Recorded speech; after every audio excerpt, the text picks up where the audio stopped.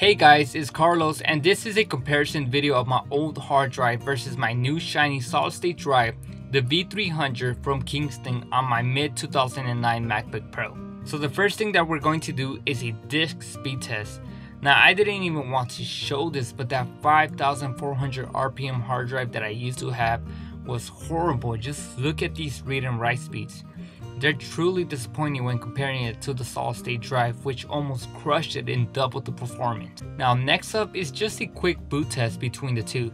So first up is that 5400 RPM hard drive which took it a while to load up. It finished loading up in a minute and 2 seconds which to me is pretty decent at loading up but OMG the solid state drive really crushed it in this one once again. It only took 26 seconds to finish booting up.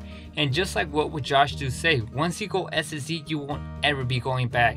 And I can guarantee you that I will never ever get a hard drive on my computers ever again. I'm only sticking to solid state drives now. I'm still stunned about the performance of the solid state drive. It's way too fast and here I'm opening up my favorite program Adobe Premiere Pro CC which I use to edit all my videos and it just opens up in an instant flash.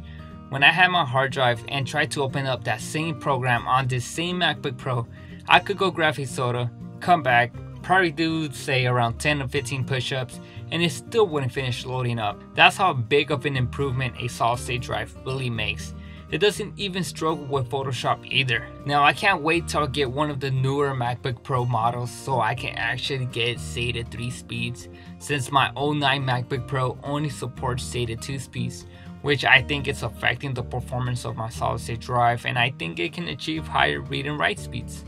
So anyways guys, this was just a quick comparison video of my hard drive versus my new solid state drive. So anyways, make sure to smack that like button, hit that subscribe button if you're new to the channel, and see all my previous videos that I have done. So go ahead and check them out on my account. Follow me also on Twitter at MobileCarlos. I'm also on Instagram. Just check the links down in the description. And I'll catch you guys in the next video. See ya.